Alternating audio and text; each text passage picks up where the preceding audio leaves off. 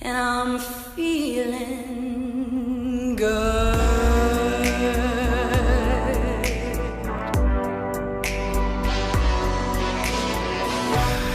Fish in the sea